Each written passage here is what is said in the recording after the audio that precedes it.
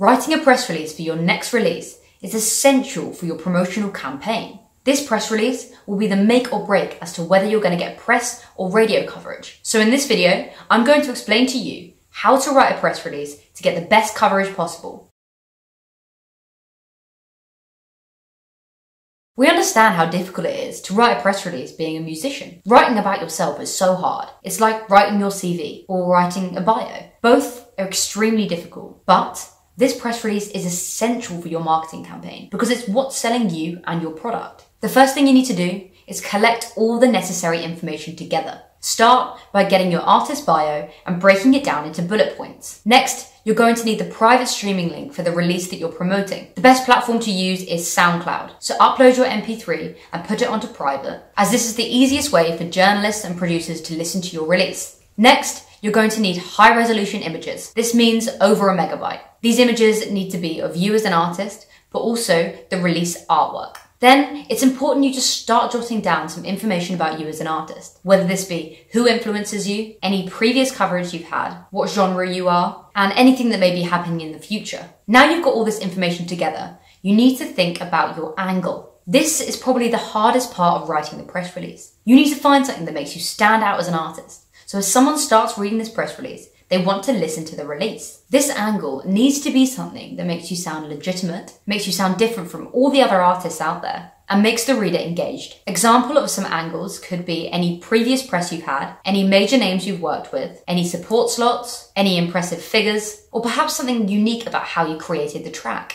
Now you've got all of this jotted down, you can start creating the actual press release. Let's start with the first paragraph. This paragraph is the most important. It needs to sum up the release and what the reader is going to continue to read about. This paragraph should explain who you are as an artist, what you're releasing and when, and what they should expect when they listen to it. It should also have the standout point and angle that you've gone in with. For example, if your previous press is really strong and that's the angle you're going in at, then that should be what's in the first paragraph. You could start the first paragraph with, after featuring in Pitchfork, Line of Best Fit, and Wonderland, and then continue to explain what you're releasing. From this, the reader is already engaged because they know that you have some legitimacy behind you. Not everyone, of course, has this sort of backing, but this is the sort of angle you should be going with. Something that shows legitimacy and makes you stand out. Once you've got the first paragraph written, you straight away need to link the release. There's no point putting it near the bottom because they don't have time to scroll and find it. Direct them to it. Say stream the track name here. Now you've got the important information out of the way,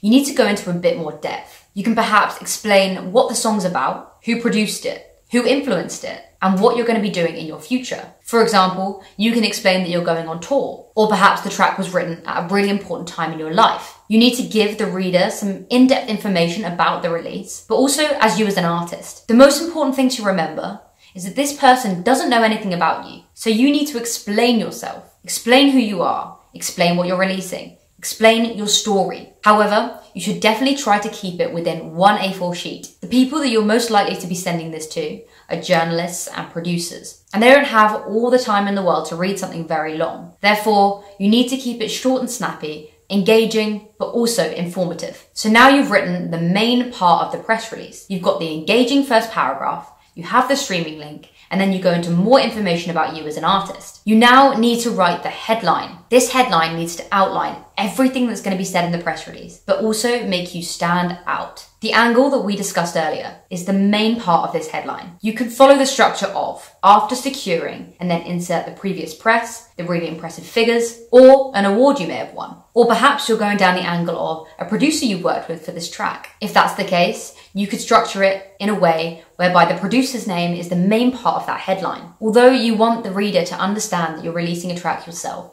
you also want them to understand that this is a track they need to listen to. People are more likely to open an email where they recognize something in the title, whether that be a publication, a producer, another artist that you supported. This headline is the make or break as to whether someone's actually going to read your press release. Now you've got your headline, you've got the first paragraph, the streaming link, and the rest of the press release. Then you need to put your images in. It's really important that you choose imagery that portrays you as an artist. You of course need to include the artwork for that release, but you also need to have a picture of you as an artist. This image needs to be high quality, portraying your genre, and also showing a little bit of personality. Sometimes the image alone can make someone listen to your release. It's also essential essential that you put your social media links at the bottom of the press release. Make sure you link to your most popular social media page above all the other ones, as that's most probably the one the reader is going to click first, and you want to prove that you're a serious musician. Before signing off your press release, there are a few things that you need to do. You need to make sure that you've proofread it. The worst thing for a reader is finding spelling mistakes and grammar mistakes throughout the whole thing. Don't just proofread it yourself. Pass it around multiple people to check that you've spelt everything correctly. Also make sure that everything's the same font and everything's the same color. One exercise we would suggest you do before signing off your press release is swapping another artist's name with yours. Read back the press release and if it still makes sense, then the press release is way too generic. It needs to be relevant to you. It needs to be specific to you as an artist and not relatable to anyone else. If you've done all these things, you're going to have an impressive press release that you can send to producers, journalists, DJs, and you can get your name out there. And most importantly, get the coverage that you deserve. I hope you found this video useful, and if you did, please give it a like. And if you haven't subscribed yet, hit that subscribe button. And if you have any questions at all, feel free to comment and we'll answer them all. Thanks for watching.